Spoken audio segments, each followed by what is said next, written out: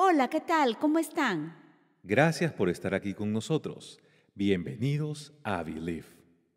Hoy vamos a hablar acerca de desencadenados. Cuando escuchamos la palabra desencadenados, piensas en algo que se ha soltado, que es libre. También es cuando pasan cosas consecutivamente referente a una situación determinada. Esta palabra, desencadenados, proviene de desencadenar, cuyo significado es quitar la cadena a quien está con ella amarrado. También es romper, liberar o desunir el vínculo de las cosas inmateriales. Es decir, por ejemplo, cuando ves una nube negra, sabes que se va a desencadenar una lluvia fuerte. Cuando hay vientos fuertes en alta mar, sabes que se va a desencadenar un fuerte oleaje. Si seguimos consumiendo todos los recursos de la tierra indiscriminadamente y no cuidamos nuestro medio ambiente, sabes que se va a desencadenar una crisis, ya sea energética o ambiental y esto va a ser perjudicial para el crecimiento y avance del ser humano. Okay. Ahora, hablando de nuestra vida de fe, ¿qué sucede cuando tomas tiempo con Dios? Cuando hablas correctamente, cuando te mantienes en fe en tu día a día. Hay una consecuencia en tu vida cuando decides confiar en Jesús. Se desencadena una serie de eventos que son paz en medio de la tormenta, certeza y no duda, gozo en medio de la tristeza, sabiduría frente a la ignorancia.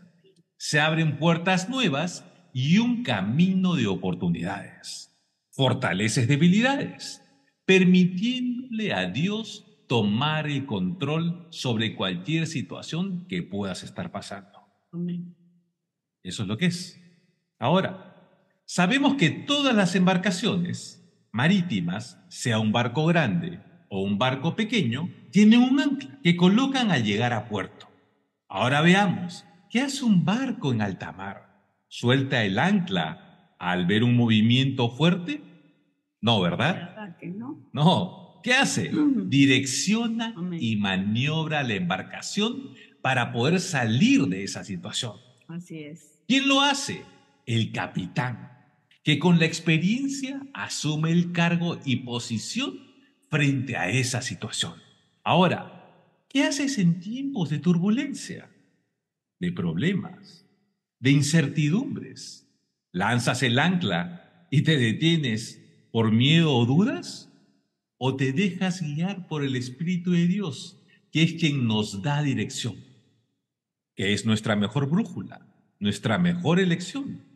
Y pones toda tu confianza en Jesús, que es nuestro capitán, nuestro comandante en jefe.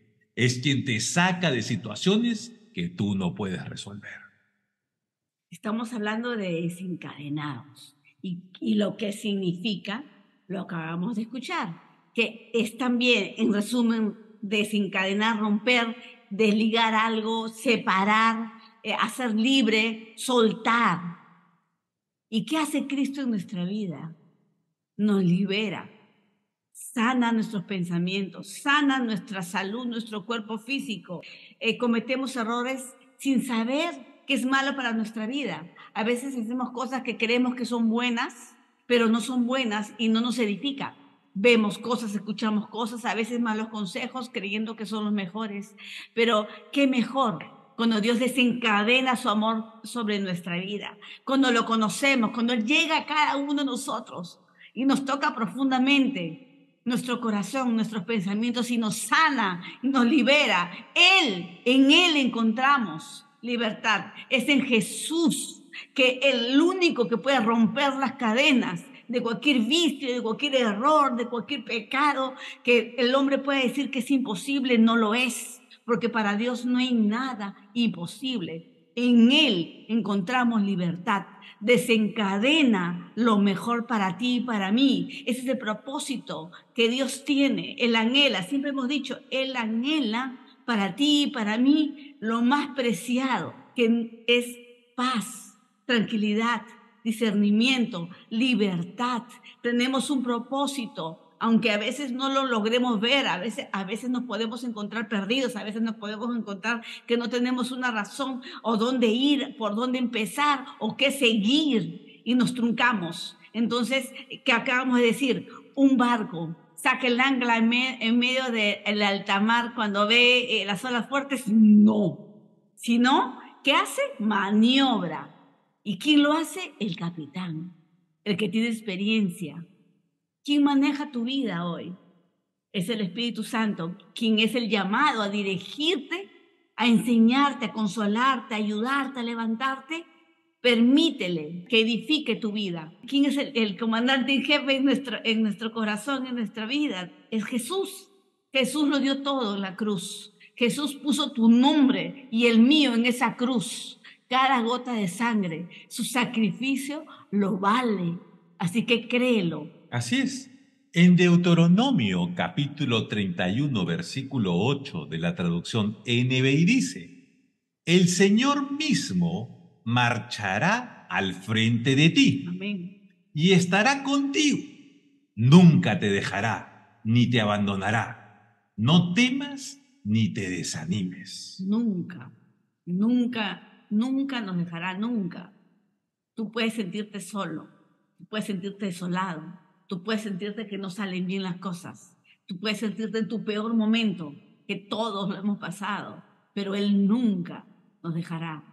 No existe la soledad para el que cree en Cristo, para los hijos de Dios. Así es, lo que te estamos tratando de decir es que es mejor tener a Jesús en nuestra vida a estar sin Él, a estar sin su presencia, sin su ayuda y dirección. La postura del Señor es siempre de protegernos y amarnos. Eso nunca lo olvides. Esa es su postura, de protegernos y de amarnos. Y es su deseo, escuchen bien, ¿ah? es su deseo desencadenar en nuestra vida cosas buenas y de bendición. Cuando el Señor desencadena en nuestra vida su voluntad, suceden cosas en nuestro interior somos transformados por medio de su amor. Esto nos llena y desencadena el poder de perdonar y amar. Entonces, ¿qué sucede? Nos da libertad. La puerta que Dios nos muestra siempre va a ser el amor y el perdón.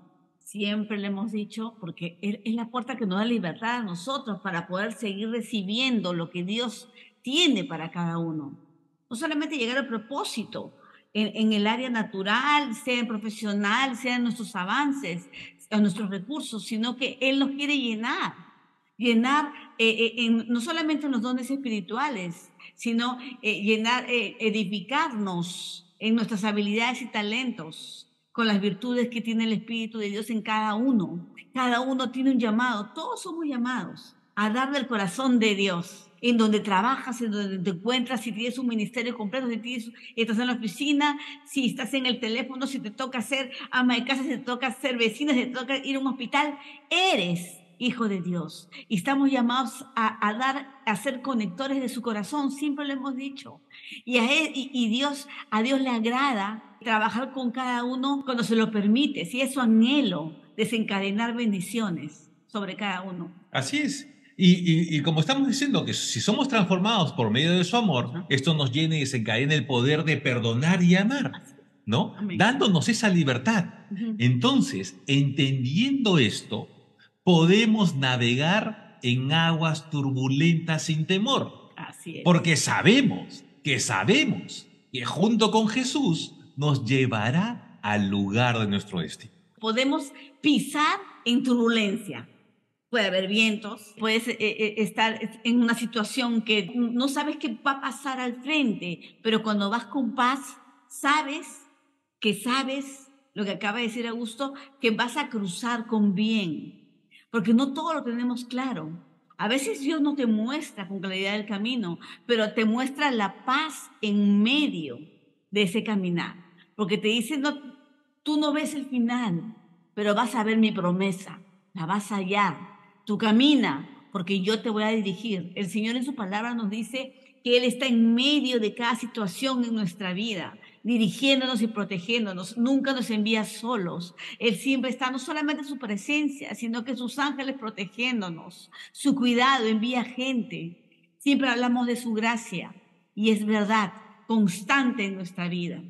Así es. El hecho es que cuando persistes en buscar al Señor a solas, esto va a desencadenar en tu vida una transformación. Y esto a su vez origina en tu interior un movimiento en lo espiritual. Oh, que te hace entender, comprender, reconocer errores y aciertos. Esto desencadena que en tu crecimiento espiritual seas guiado por Él. Él transforma nuestra mente, te da claridad. El Señor es un caballero y no irrumpe en nuestra vida. Él espera que se lo permitas para poder obrar en ti. Más estás con Él, menos recibes del diablo. Increíble, ¿verdad? Más de su presencia, menos poder tienen los pensamientos negativos en tu vida.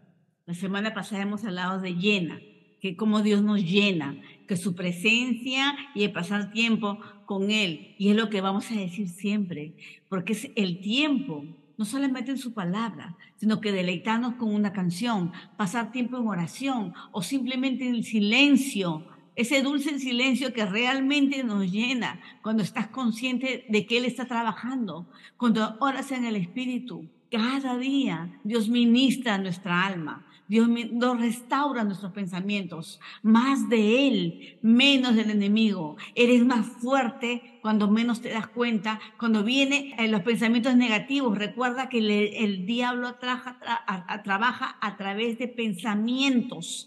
Ese es lo que quiere, esa es la raíz que Él quiere poner. Ahí viene el temor, ahí vienen las dudas, ahí viene el miedo, ahí viene eh, la depresión, la tristeza, todo, todo, la nostalgia, todo eso trae. Entonces, cuando tú estás lleno de Dios, simplemente lo reconoces. Eres sensible en el área espiritual, porque el diablo es astuto, pero no es más astuto que Dios. Dios tiene la sabiduría perfecta en nuestra vida y estamos aptos a través del Espíritu Santo a percibir cuando viene un ataque del enemigo en nuestra vida. Entonces, su presencia nuestro tiempo con Él. Nos llena, nos llena para, para en el momento indicado discernir cuando viene algo de Él. puede ser un sublime comentario de un compañero en el trabajo, de un familiar, de alguien que no te lo puedes imaginar y no fue bueno, sino que te marcó y te hizo pensar. Un simple pensamiento te puede llevar a la, a la depresión o al temor. Es cuando, cuando tú estás lleno de la palabra, cuando has pasado tiempo con Dios, ese pensamiento muere, no tiene vida, no le das cabida a tu pensamiento y no crece. Así es. Y por lo general, como dice Tirce, son personas, el diablo utiliza personas que están cerca de ti. Ahora, estamos diciendo que si tenemos más de su presencia, menos poder tienen los pensamientos negativos en tu vida. Si tenemos más de su presencia, quita el poder de la influencia que el diablo quiere poner en ti. Así es, Más de su presencia, afinan y hacen sensible, ¿qué cosa? Tus ojos y oídos espirituales para discernir lo que viene del enemigo. Si por algún motivo tomaste una mala decisión, por tener una mala actitud, y como resultado de esto se desencadena en una mala consecuencia, no te encadenes a ella, a los errores que tuviste. Puedes rectificar reconociéndolos, iniciando cambios y enrumbarlos a un nuevo camino con Dios. Sin Jesús vamos a vivir encadenados al error, al pecado, a una ceguera que no te permite ver y hacer las cosas correctas para tu bien. Eso es cuando vivimos sin Jesús. Con Jesús en nuestra vida nos lleva a vivir en libertad, en paz. Nos quita la ceguera dándonos una nueva visión de ver y hacer las cosas bajo su perspectiva, porque confiamos en Él. En su presencia y con su palabra encuentras revelación, la revelación que necesitas para cada temporada. Dios desata su amor en ti. Dios desata su paz en tu vida. Dios desata su favor y gracia. Él te sostiene con fuerza. Jesús nunca, falla. Él nunca te va a fallar. En segunda de Corintios, capítulo 3, versículo 18 de la traducción NTV te dice, Así que todos nosotros, a quienes nos ha sido quitado el velo, podemos ver y reflejar la gloria del Señor.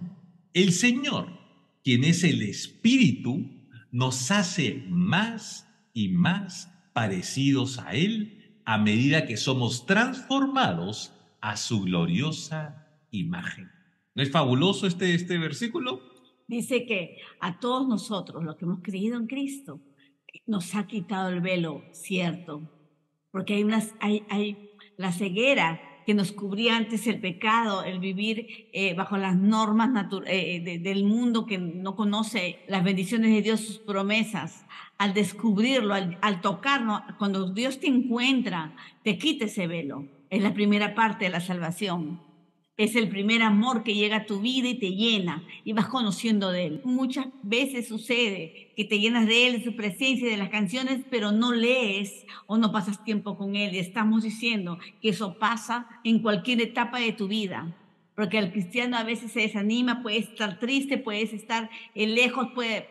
Hay tantos motivos por el cual uno no uno puede apartarse de, de, de, eh, de estar esos tiempos, esos minutos con Él. Y no es bueno para que Dios trabaje en tu vida, pasa tiempo con Él. Él desencadena cosas increíbles. Él te, da la facultad de desenvolverte en cosas que tú no puedes imaginar. Él te puede catapultar de hoy a, una meta que tú, tú ves acá en años.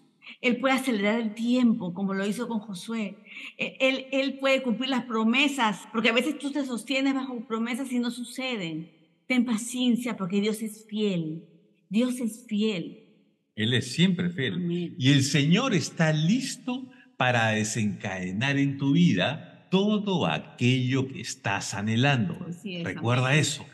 Está listo para desencadenar en tu vida todo aquello que estás anhelando. Ahora, ¿qué estás anhelando? Esa es una pregunta que solamente tú y Él saben. Él te sorprende añadiendo su grandeza a nuestros sueños. Siempre decimos eso y siempre lo vamos a decir. Y te ha dado la autoridad de hijo sobre los ángeles, potestades y demonios, para desatar, reclamar y vencer en este mundo. Te lo voy a volver a repetir. Te ha dado la autoridad de hijo sobre los ángeles, potestades y demonios para desatar, reclamar y vencer en este mundo. Creo, actuando en fe, confiando plenamente en quien lo ha dicho, Jesús. Gloria a Dios. Es su voluntad desencadenar sus bendiciones, sus promesas, revelarnos eh, en su palabra lo que tiene preparado para cada temporada para cada uno de nosotros, en diferentes caminos en donde te encuentres. Quizás Dios está dando claridad en este momento en tu vida, quizás estás tomando una decisión, quizás estás en el momento de no, saber si vas a hacer lo correcto. Confía, confía porque Dios es fiel, Él te va ayudar en este momento si, vamos, si vas a tomar, si vas a cambiar de dirección. Él sabe dónde llevarte y Él te cuida. Con, la fe y la confianza van unidas y la esperanza nunca se pierde. Es la que, es la que te ayuda a actuar. Y como hemos dicho anteriormente, hay un movimiento que surge en cada uno de nosotros, en nuestro, en nuestro interior, que es fruto del tiempo que pasas con Él. No te afanes en el momento de espera, no te entristezcas en, en el momento de que las cosas no salgan. Confiemos en Dios. Vamos a orar. Padre, en el nombre de Jesús te damos las gracias, Dios, por esta noche. Gracias, Señor, por tu hermosa presencia. Gracias, Señor, porque tú sabes el tiempo que cada uno de nosotros estamos pasando.